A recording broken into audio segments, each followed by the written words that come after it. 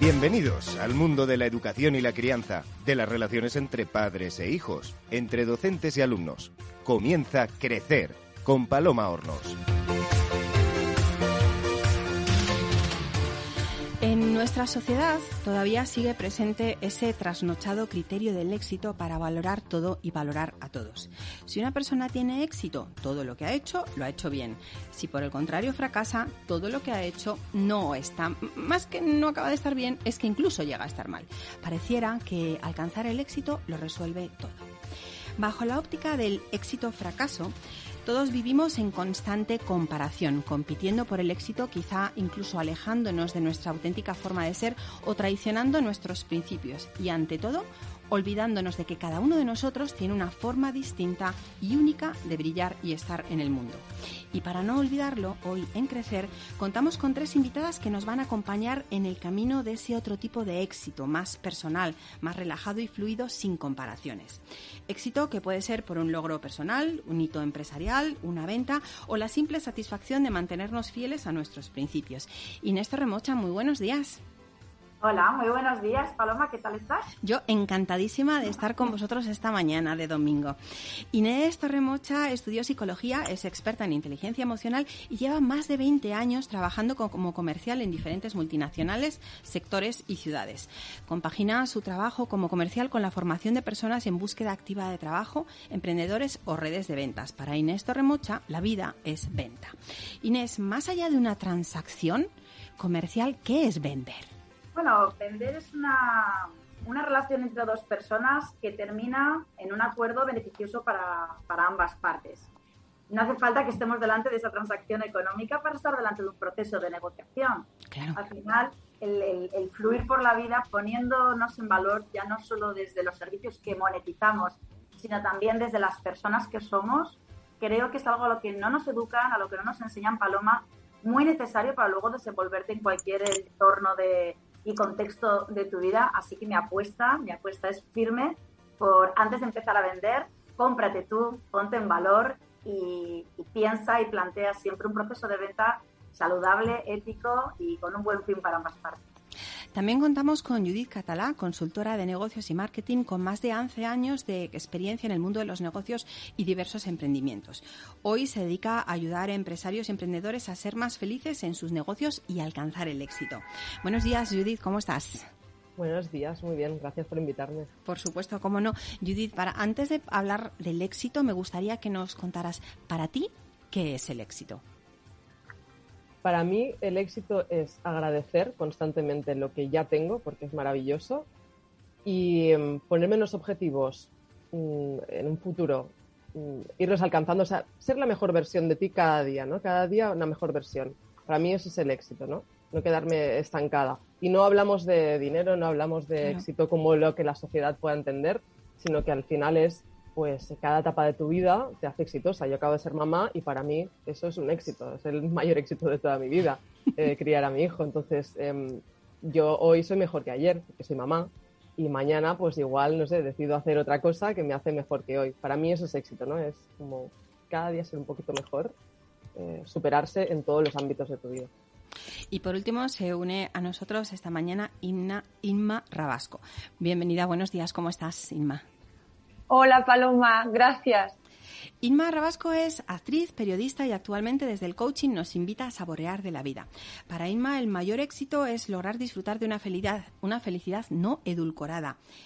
Fíjate, una felicidad no edulcorada. Inma, ¿qué quieres decir con eso de felicidad no edulcorada? Porque parece que el dulce va asociado con la felicidad, pero no necesariamente yo digo como una felicidad más que edulcorada, chocolateada, con sus dulces y sus amargos, mm. como el chocolate, ¿no? Y que el chocolate en exceso puede ser, como te digo, malísimo, ¿no? Ya lo sabemos, caries y demás. Y bien, ¿no? Bien saboreado y bien, pues dando el valor que tiene y en sus momentos gozosos puede ser una maravilla como la vida. Pues poder apreciar todo, el, lo oscuro y, la luz que tiene la vida. Soy Paloma Hornos y les doy a ustedes que nos escuchan mi bienvenida al programa de hoy. Esta mañana vamos a explorar los caminos del éxito, así que sin más preámbulos, comenzamos. A veces nos preguntamos qué tiene tal persona para alcanzar el éxito que a nosotros nos falta y sin reconocer el valor que nosotros tenemos nos comparamos con ellos y nos comparamos generalmente a la baja. Judith Catala, ¿qué diferencia a las personas con éxito de las personas que no lo tienen? Pues es algo que he ido observando en los últimos años. Eh, de hecho, mi libro viene de ahí, de una observación activa constante en personas con las que he tenido la suerte de encontrarme, ¿no? Que se supone que son exitosas y muchas de ellas sí, que lo son, mm, como te decía, no por el dinero que tienen en el banco, sino por la calidad de vida que tienen, ¿no? Y cómo, cómo viven, cómo gozan de su vida, cómo disfrutan de su vida.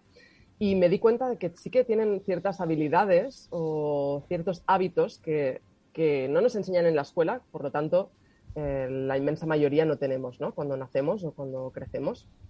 Estas habilidades vienen en tres áreas muy concretas, que son las habilidades interpersonales, aquellas más relacionadas con cómo nos comportamos con la mayor relación de nuestra vida, que es con nosotros mismos, ¿no? Nunca va a haber una relación tan importante como la que tenemos con nosotros mismos. Con lo cual, esa parte, eh, creo que ahí tenemos mucho que aprender como sociedad a tener una mejor relación con nosotros mismos, a saber comportarnos en ciertas mm, en cierta, ciertos aspectos o ciertas, ciertos momentos de nuestra vida, ¿no? como pueden ser crisis eh, o momentos no tan fáciles, cómo nos comportamos con nosotros mismos y de ahí depende del éxito que tú vayas a tener en tu vida. ¿no?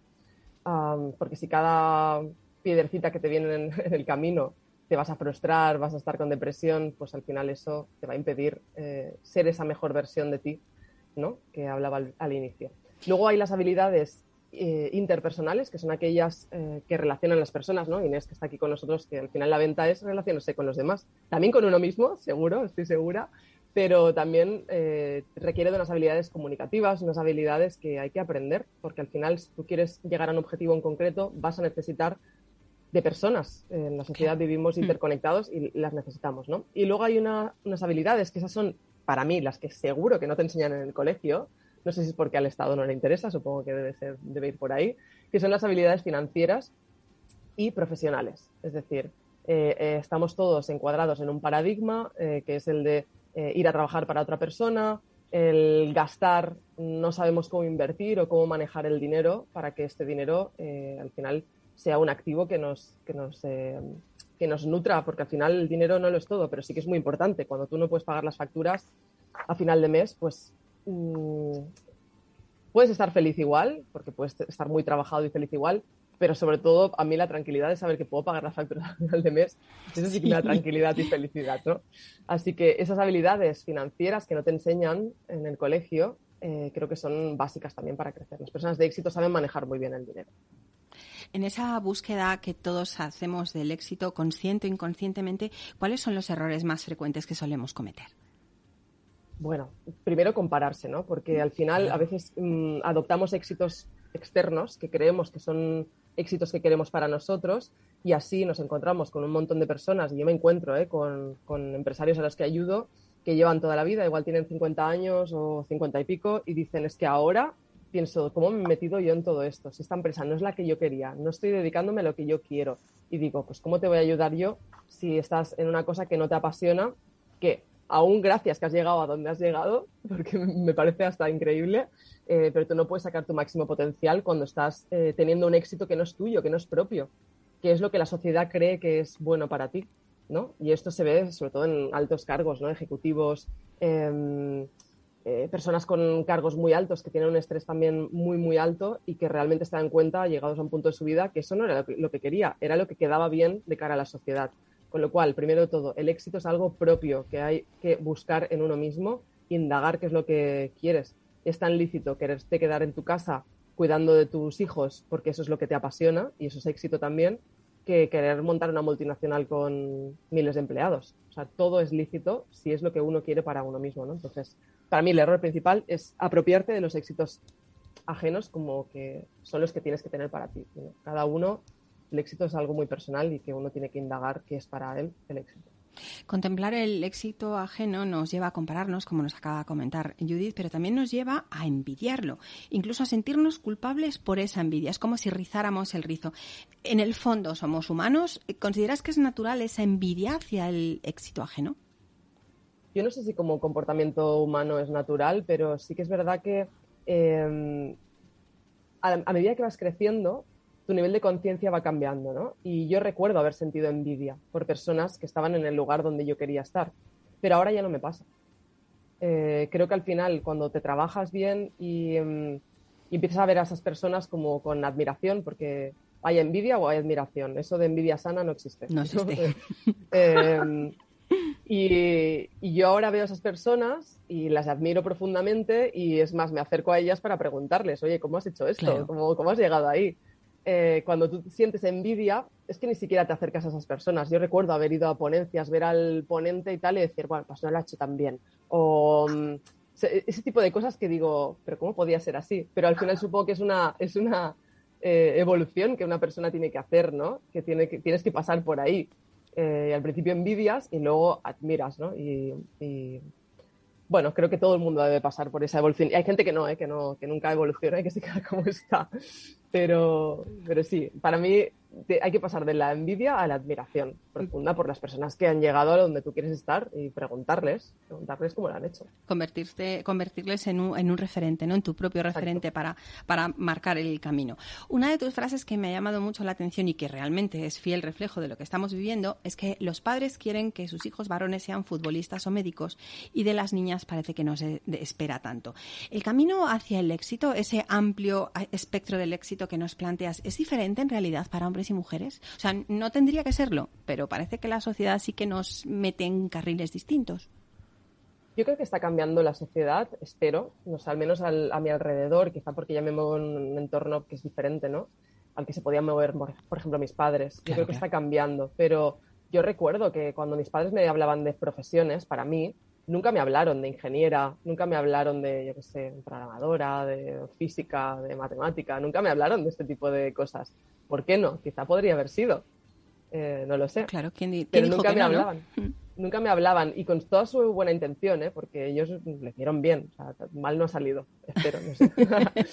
pero, pero sí, con toda su buena intención, ellos me hablaban de otro tipo de profesiones, mm, como más mm, culturalmente feminizadas, ¿no? Eh, creo que esto está cambiando, pero todavía tenemos mucho trabajo por hacer. Y sí, al final se esperan cosas diferentes de las niñas que de los niños. Porque en el fondo las personas con las que estás trabajando, bien sea en formación o en, mentoría, corresponden a nuestra, digamos, nuestra mm, generación, que somos los que todavía estamos educados con las cosas para niños y las cosas para niñas. Quizá las nuevas generaciones sí que lleguen con otro punto de vista, ¿no? Exacto. Y al final eso hace mella, porque mm, las mujeres no lo saben, pero tienen ahí como una huella que les han dejado de pequeñas que no es visible, pero que está ahí, y con lo cual se atreven a hacer muchas menos cosas.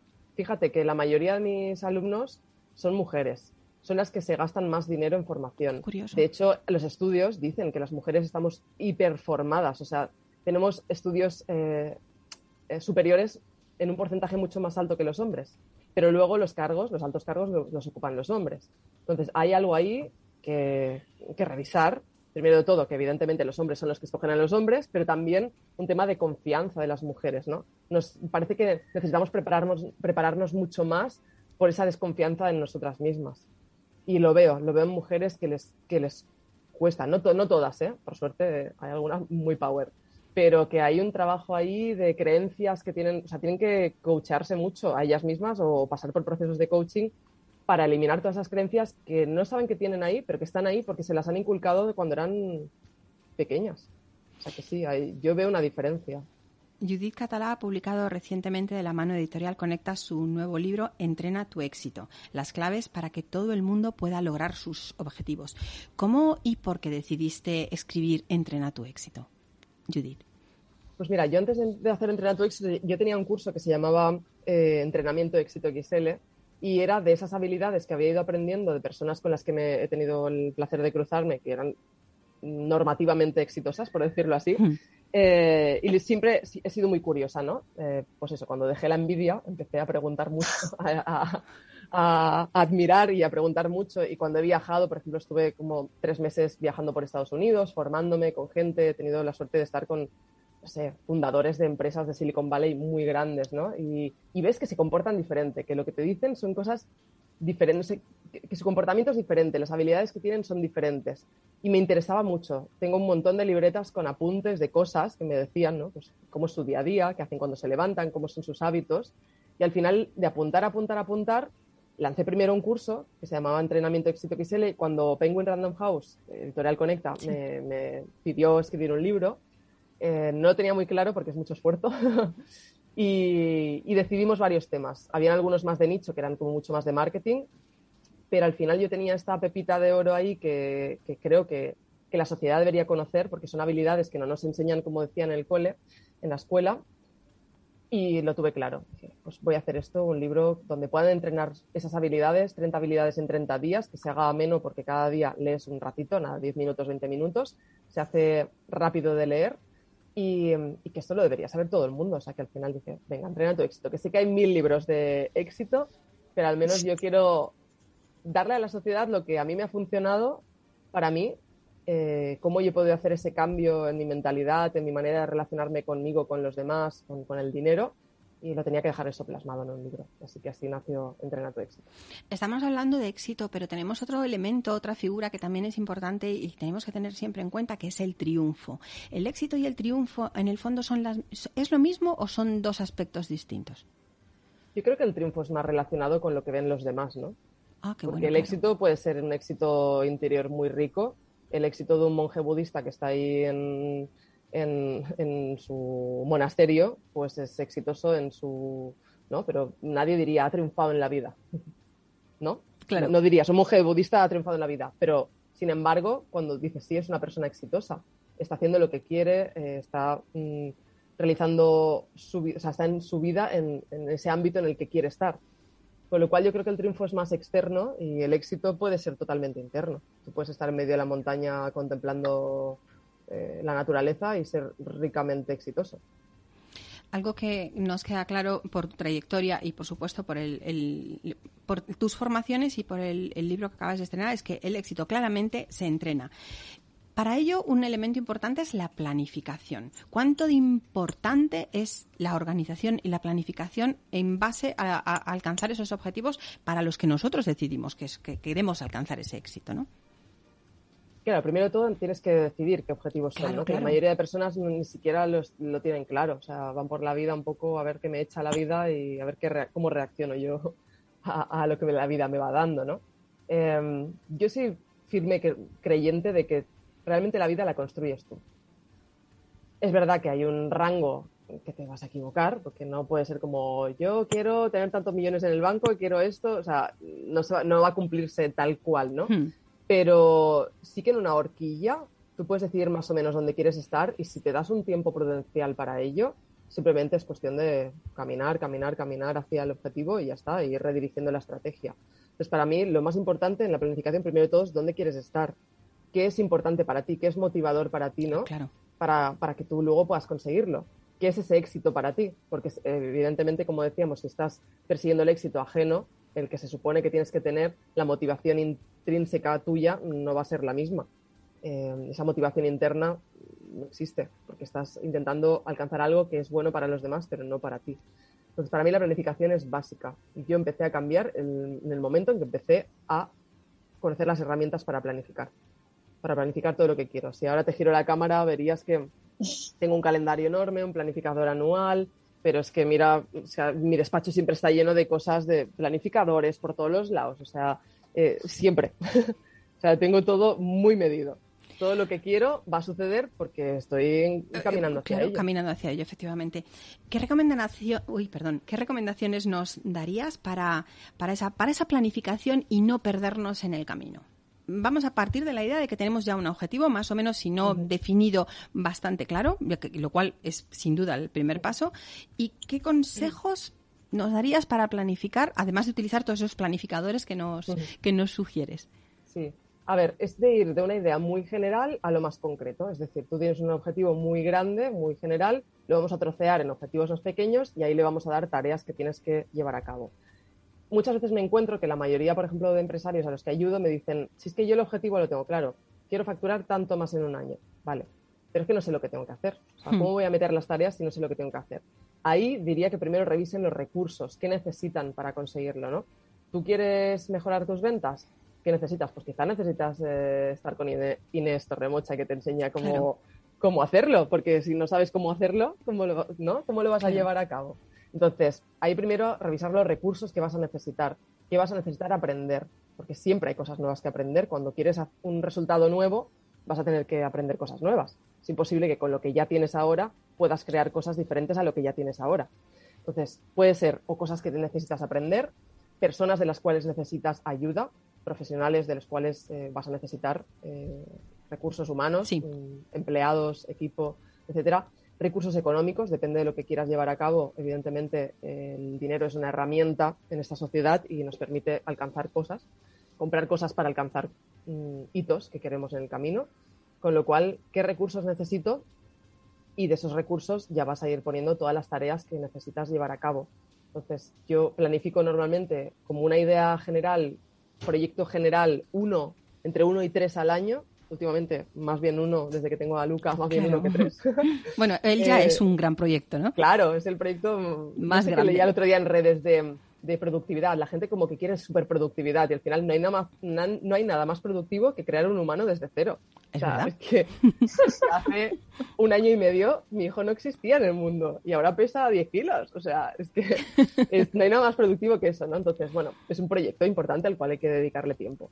Eh, y si yo me pongo como entre un proyecto y tres proyectos grandes al año, a partir de ahí decido eh, cuál es el camino, en, qué mes voy a hacer cada cosa y luego cada mes voy detallando, ¿no?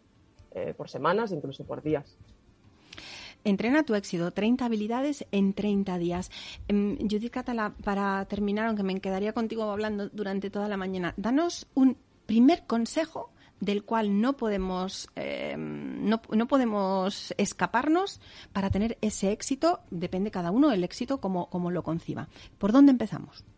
Mira, hay una habilidad de la que hablo que a mí es la que más me gusta, diría, porque también es un cambio de, chip.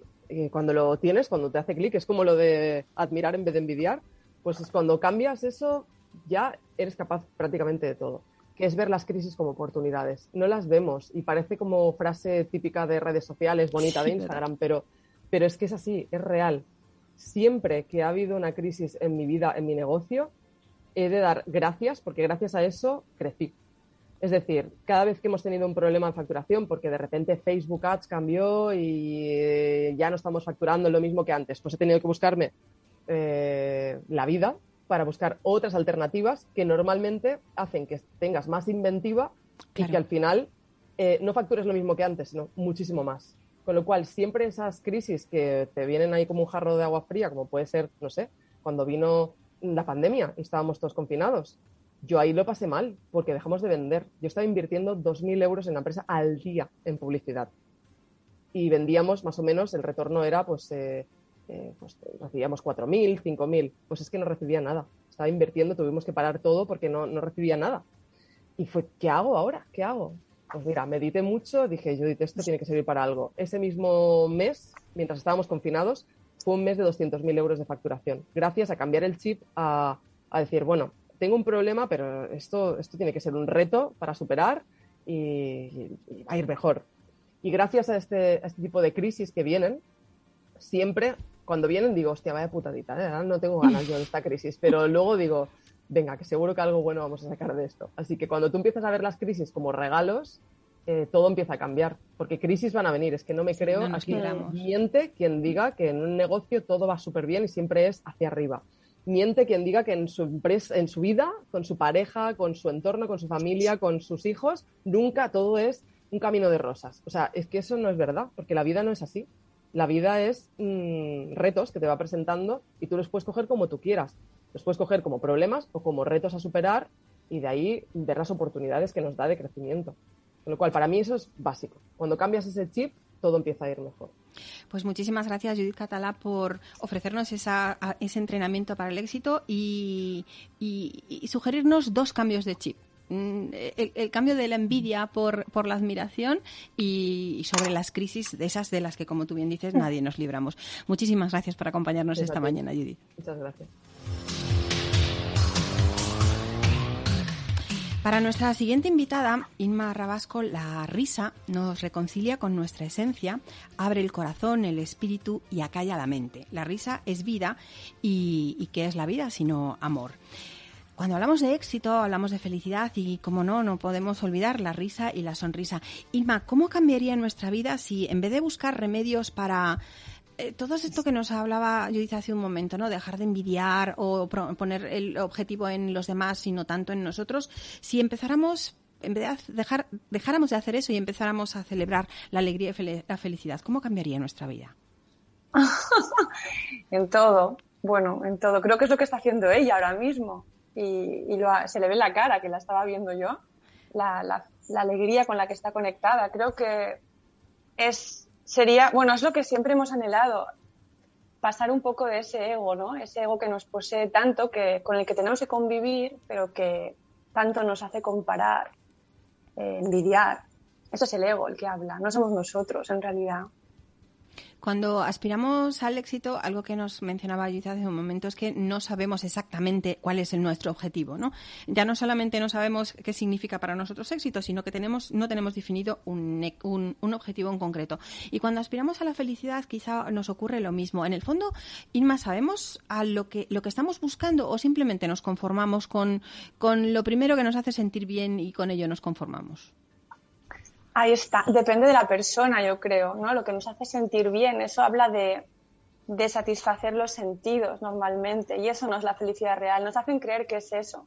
Pero yo estoy más por lo que decían los griegos de eudaimonia, que es ese concepto de dejar florecer lo que llevas dentro. Cuando uno se conecta con eso, siente realmente ese éxito por ahí que decía Judith del monje, ¿no? que está conectado con algo más grande. Para mí el éxito está relacionado con la alegría de ser, sencillamente, y pasa por lo transpersonal, por conectarse con algo mucho más grande que uno. Se me pongo un poco mística. No, no, pero, pero eh, eh, momento para ello, no hay por qué no quejarse de ello. Inma Rabasco acaba de publicar la obra Reír y Vivir, publicada por la editorial Libros Cúpula, un manual con claves para despertar tu alegría interior. Inma, ¿por qué has escrito un libro sobre la alegría interior? ¿Crees que la estamos perdiendo o que no sabemos dónde encontrarla? Pues mira, la perdí yo. Así que hice este libro porque me di cuenta que para qué vivir, em, o sea, no yo estaba intentando solucionar un tema de salud y en esa búsqueda de, poder estar, curarme de alguna manera, perdí mi sonrisa. Estaba tan preocupada, ¿no? Por, por mí, por, por sobrevivir, que, que, perdí la sonrisa del vivir, ¿no? Del simple hecho de estar pues, ahí, estar ahí, estar viviendo, estar conectada con la vida. Y justamente cuando, bueno, cuando lo estaba haciendo, pues pasó lo que pasó y realmente ahora mismo me parece que, no soy, pues que, que, le pasa a la mayoría de las personas lo que, lo que me pasó a mí, ¿no? Que por esta obsesión de sobrevivir nos perdemos el vivir de alguna manera. Dinamarca figura a la cabeza del ranking de los países más felices y parece que se ha llegado a la conclusión de que es porque los daneses disfrutan de las pequeñas cosas de la vida oh. cotidiana. ¿Por qué crees que en España, con, a pesar de nuestro clima, nuestro carácter, el paisaje, la gastronomía, no sucede lo mismo? A ver, yo no soy mucho de estas cosas, pero conozco bastantes daneses además, bastante gente del norte, en plan. Y bueno, es que es eso, ¿no? ¿Qué es la felicidad? Para empezar, y una estadística de, de, la felicidad me parece ya muy subjetiva. Yo me iría más por Bután, por ejemplo, que también se considera el país más, más feliz del mundo. Em, pero esta, la felicidad es tan, tan particular que, querer hacer no sé, una generalización tan grande, ya mm, mm, no fluyo mucho con eso. Y además creo que en nuestro país creo que somos más felices de lo que podemos incluso darnos cuenta, pero que en realidad creo que estamos, estamos muy conectados con la alegría. Somos un país muy alegre, muy alegre. Y como yo he viajado y he vivido mucho fuera, y cuando regresaba aquí cada dos por tres decía, y pensaba, Dios mío, qué, qué suerte, qué suerte ser de este país, de verdad. tenemos una alegría, una, sobre todo depende de las regiones, ¿no? Pero hay regiones tan alegres, tan conectadas con, esa risa, con esa, con esa generosidad que representa el reír, que yo me siento, yo defendería, defendería este país en la estadística, Paloma. Ganáramos un poquito de, de, puntos, ¿verdad?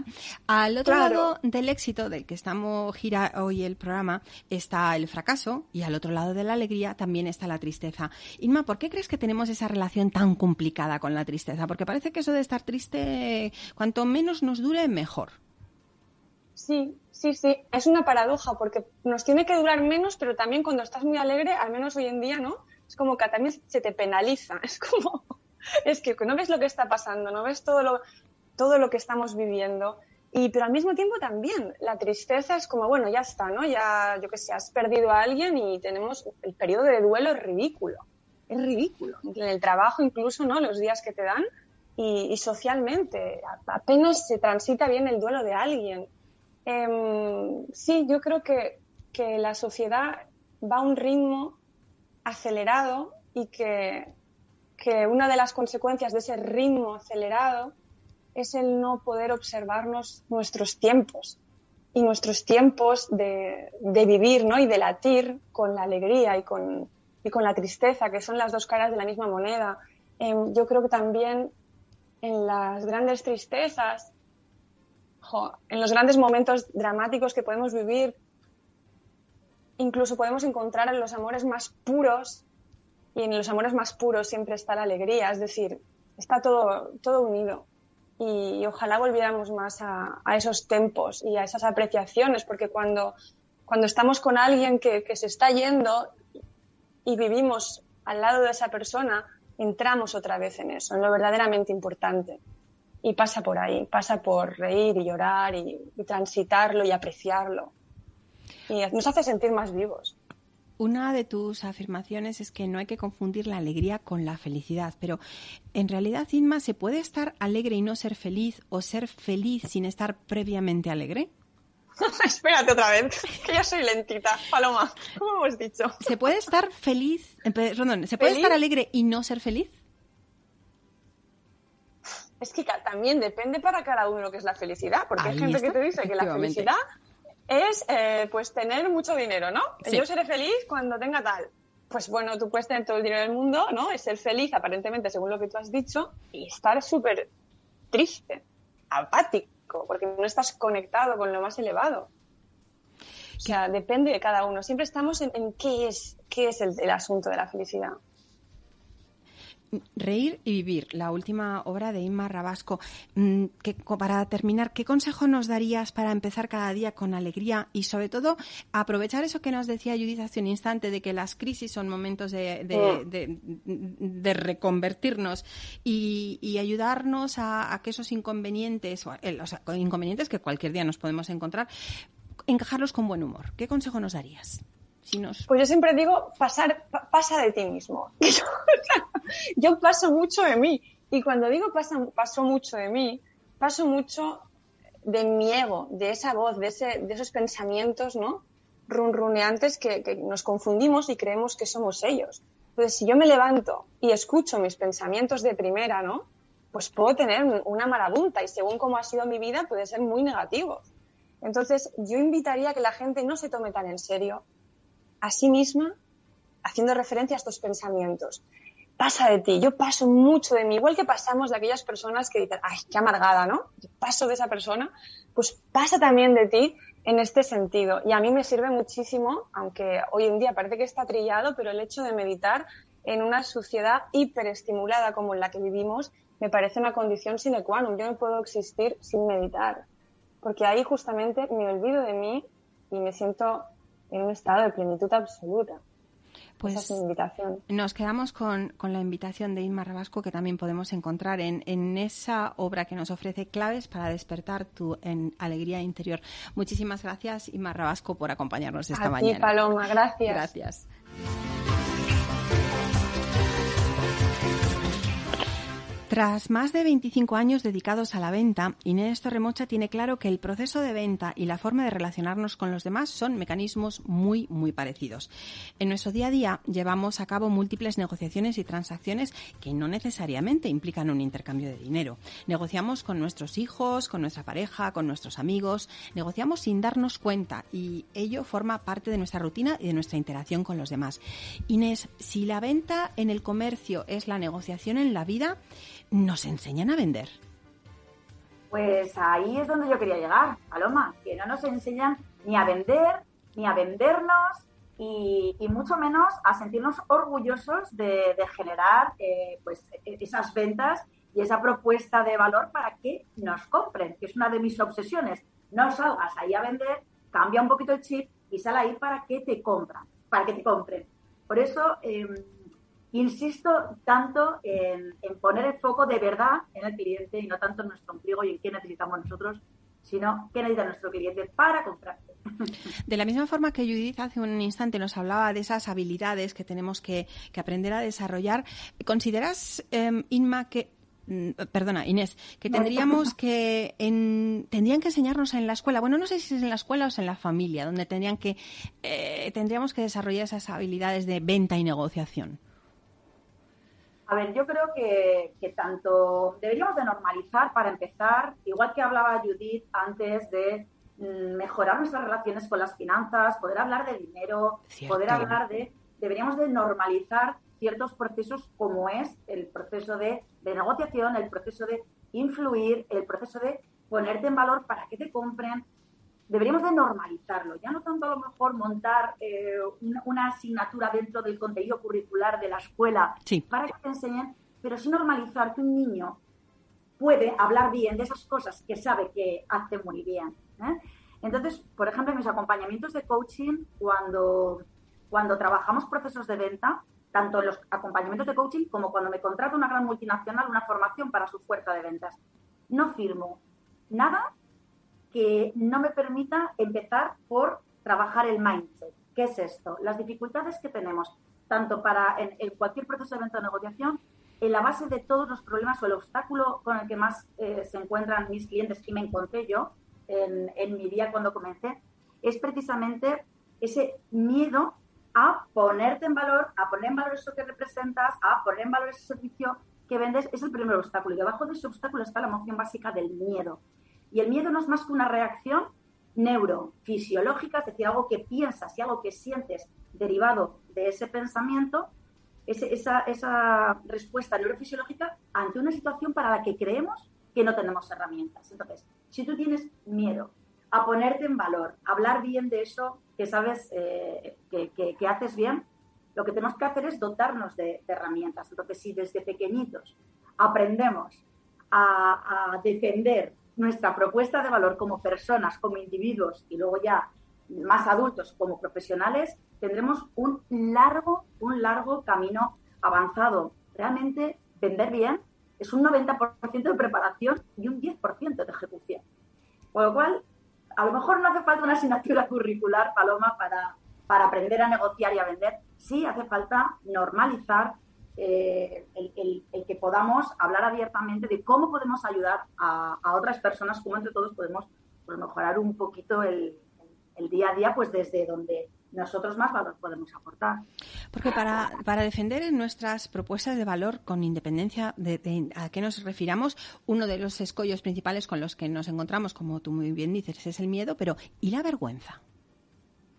Está súper relacionado súper relacionado, porque Paloma, ¿por qué sentimos vergüenza? Es como cuando a mí un cliente me dice, ostras Inés, es que, bueno, tiene validado el producto, validado su nicho, validado el, el, el valor que va a, pedir por ese producto, por ese servicio. Y me dicen, Inés, pues es que a mí no me gusta vender, yo no quiero que mis clientes mm, tengan la sensación de que les estoy bien, vendiendo. Jolines, ahí es donde tienes el primer problema. Si tu cliente no sabe que le estás intentando vender o que tu objetivo al final es, es eh, llegar a un buen acuerdo, a una transacción comercial, eh, algo estás haciendo mal, ¿no? Entonces esa, esa vergüenza eh, responde también al miedo, ¿eh? El qué pensará, qué va a pensar, cómo va a, pensar que le estoy qué, desde dónde estás haciéndolo, realmente vas a manipular a esa persona o estás acompañándola a tomar la mejor decisión para solucionar esa necesidad que tiene, que precisamente es a lo que tú te dedicas. ¿Desde dónde estás yendo? ¿Dónde estás una vez más llevando tu pensamiento? ¿Qué peli te estás contando? Es imposible vender a una persona si estás yendo desde él, va a pensar que, se, que, le estoy engañando, que le estoy intentando forzar. Vamos a ver. Cambia el verbo vender por el verbo ayudar. ¿Desde dónde vas a ir tú? Lo que piensa la otra persona no lo puedes controlar. Sí, lo que sí que puedes gestionar mm, es mm. desde dónde vas tú, cuál es tu objetivo, cuáles son tus, tus pretensiones. ¿Vas con una intención realmente de, de, ser un solucionador, una solucionadora con patas? ¿Realmente vas a, a cubrir esa necesidad que tiene ese cliente potencial, que has cualificado previamente y que tienes constancia de que su obstáculo es algo a lo que tú puedes o con lo que tú puedes ayudarle? Entonces, ni vergüenzas ni miedos, todo lo contrario. máxima eh, felicidad, seguridad en tu discurso y, sobre todo tranquilidad. No hay nada que venda más que una persona que hable con seguridad, que hable con transparencia y que, y que vaya desde, oye, es que puedo ayudarte con esto. Si el 90% de una venta o de una negociación es eh, la preparación y el 10% la ejecución, Inés, ¿dónde empieza una venta? ¿Cuándo empieza? ¿Cuál es el punto que dices aquí? La venta empieza en cuando tú te compres. Cuando tú te compres a ti mismo como vendedor. Cuando, cuando tú te compres a ti mismo como persona, como profesional, como vendedor, como programador, como consultor mm. estratégico como madre, como pareja, como hijo.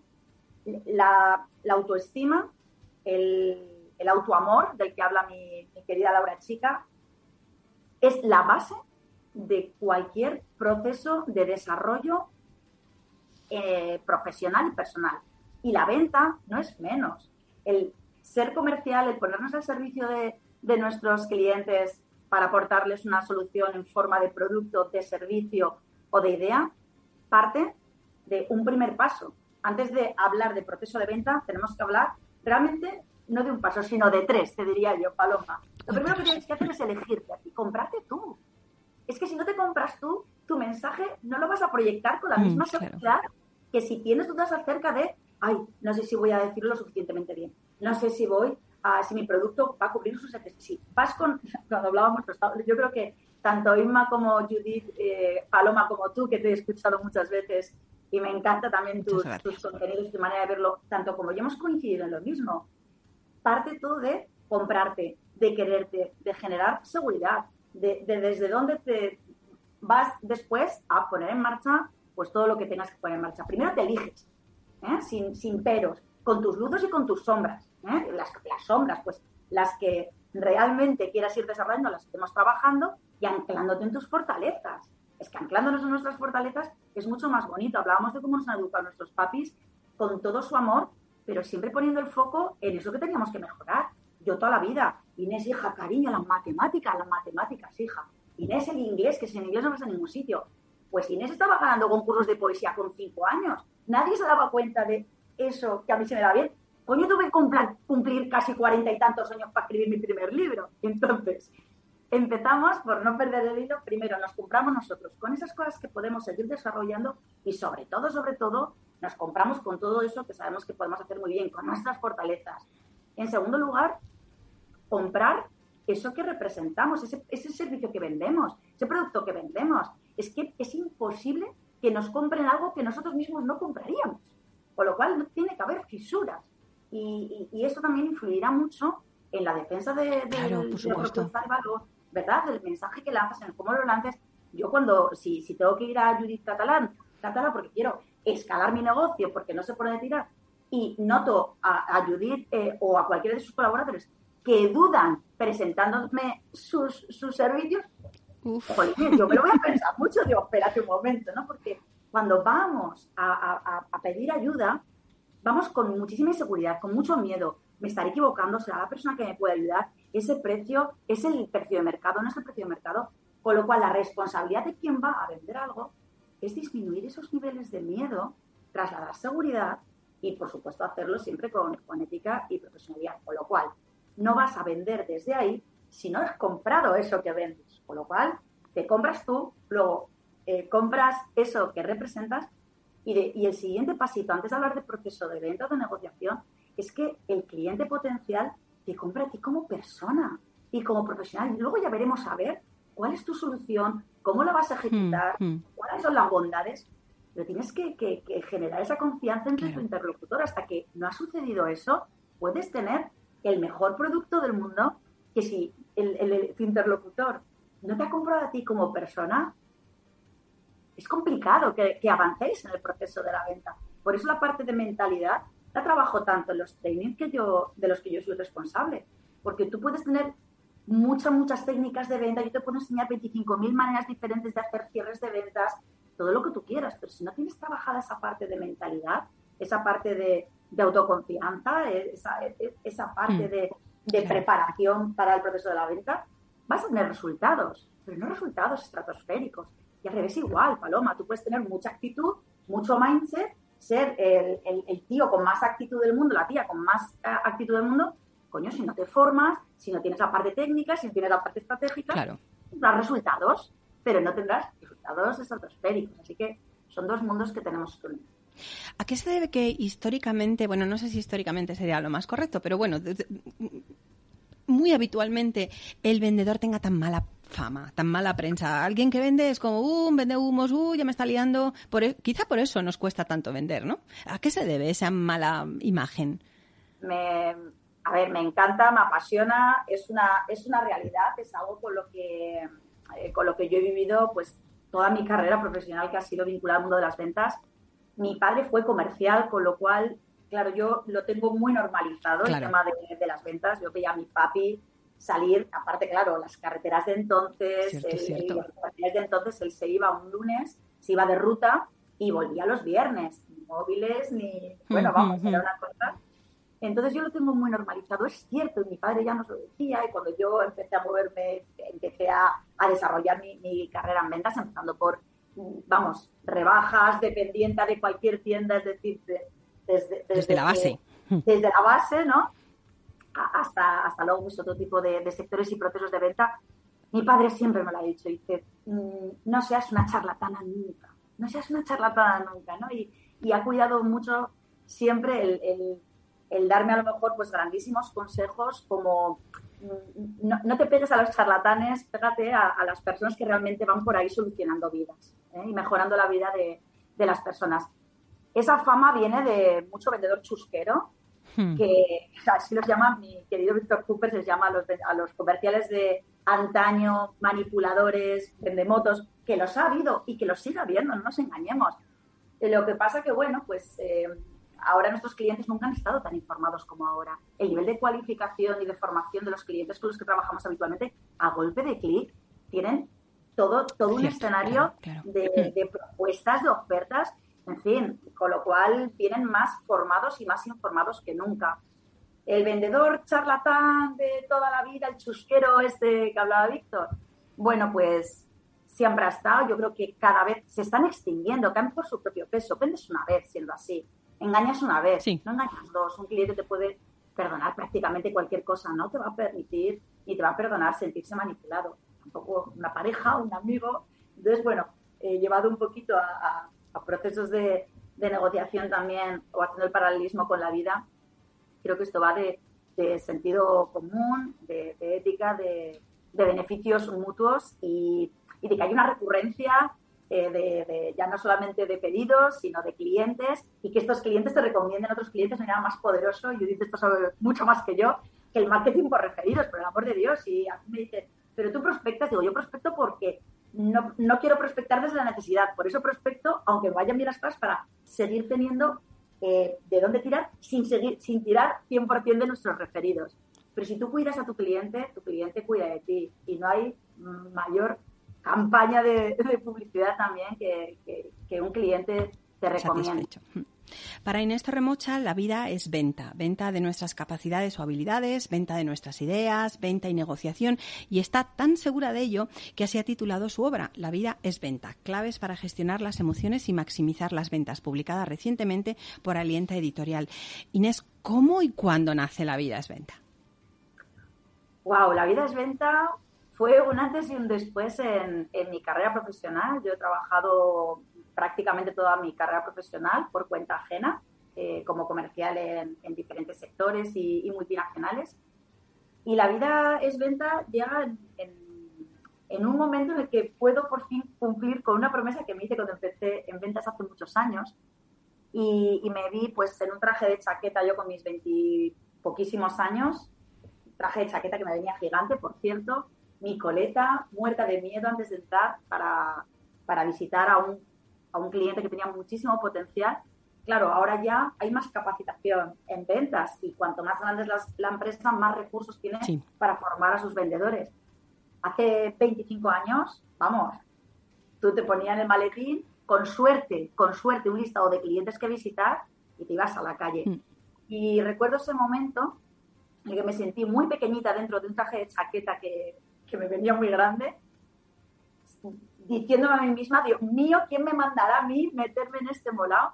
y me dijo dos cosas. Si sales de esta, Torremocha, si sales de esta, te, dedicarás al mundo de las ventas y además escribirás un libro pues, útil, ágil y práctico para, para colegas de, profesión. Entonces yo, La vida es venta, la escribí pensando en aquella Inés de hacía tantos años que no sabía ni por dónde empezar una conversación con un, con un cliente.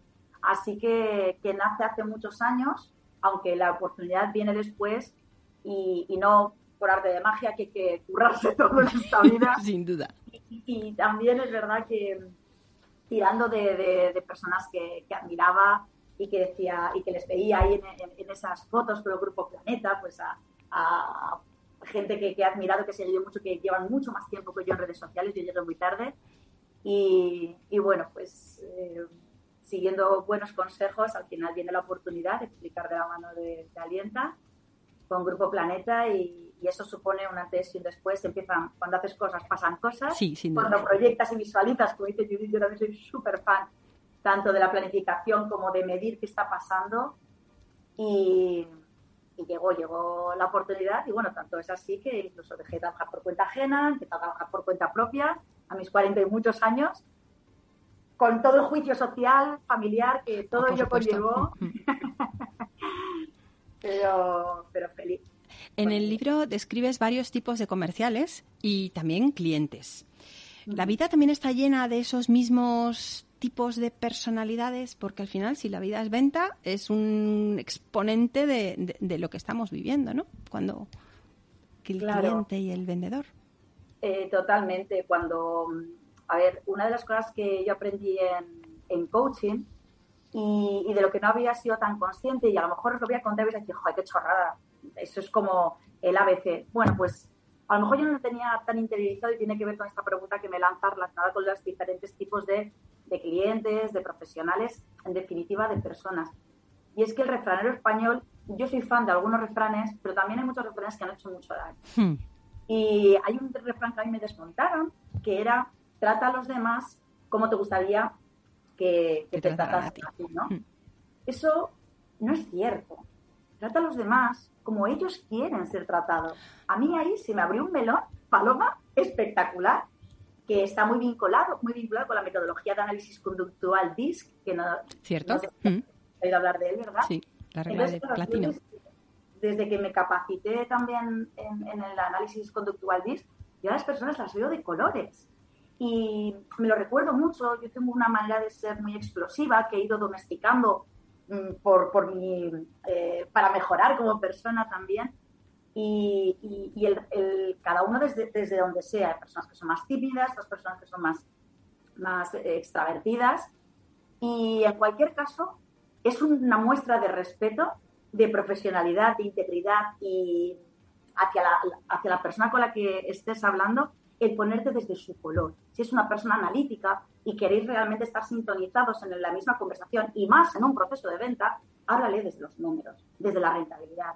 Si estás con una persona mm, de color más amarillo, que, es más entusiasta, que es más de atención, que es más influencer, a lo mejor ponte desde, montale una fiesta para venderle tu producto, tu idea. ¿Dónde nos vamos de vacaciones? Mi marido es súper ingeniero entonces yo se lo tengo que poner en términos de eh, rentabilidad muchas veces. Claro, para, que para hablar del mismo idioma. Claro, Paloma, cuando él me quiere llevar a la nieve, me tiene que decir, ostras, y luego nos juntaremos con fulanito que también va y no sé cuántos, y haremos una cena por la noche, yo voy a la fiesta, hay que esquiar, se esquía. Pero yo voy a luego a Entonces, bueno, por supuesto que hay diferentes clientes, diferentes personas, diferentes comerciales, y ahí la, responsabilidad y la generosidad de ponerte o, hablar desde donde quiere la otra persona, pues allá cada uno. Creo que tenemos mucho más que ganar, pero incluso con mis hijos me pasa, Paloma. Mis hijos, tengo dos hijos, una nena de 13 y una nena de 11. Es que a cada uno le funciona una cosa.